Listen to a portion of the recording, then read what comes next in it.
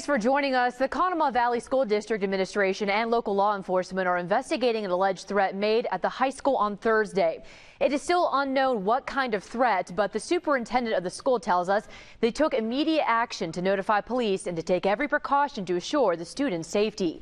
A message was sent to parents notifying them of the threat this morning.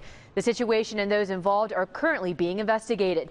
No weapons were found at the school. Parents of students in that district have been calling our newsroom angry that they weren't told about this earlier. Maria Miller is working to figure out why that didn't happen. She'll have more tonight at 5.